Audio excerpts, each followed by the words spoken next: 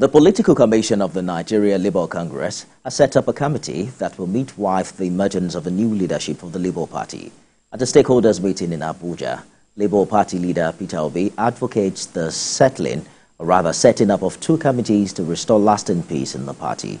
Joke Adisa reports. The Nigerian workers-based political party is still in crisis and concerned members are in search of a sustainable solution. Days after it picketed the headquarters of the Labour Party in Abuja, where it declared the party's national chairman, Julius Abure, persona non grata, the Political Commission of the Nigeria Labour Congress brings together leading actors in the party in its quest for a solution. NLC insists the party is an ideological movement with the primary purpose of conscientizing Nigerians on the need to foster good governance and acceptable political leadership.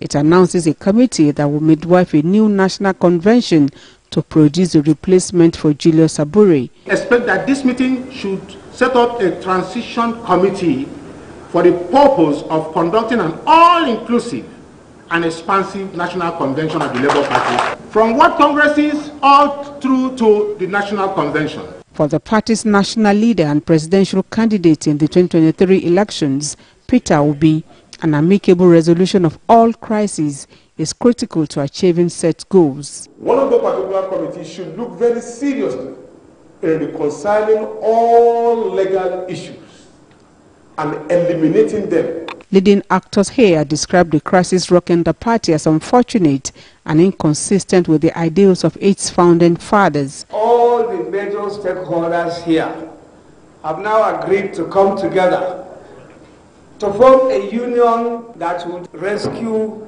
our party, reposition our party so that we become a force to be reckoned with. Human beings are, you know, synonymous to crisis and it is also human being that can make sure that crises are abated. We have said enough is enough.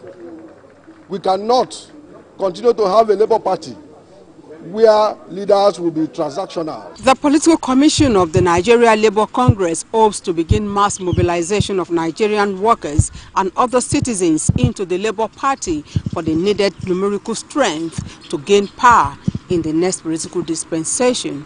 Observers say how soon this is achieved remains a matter of conjecture. Joke Adisa, TVC News, Abuja.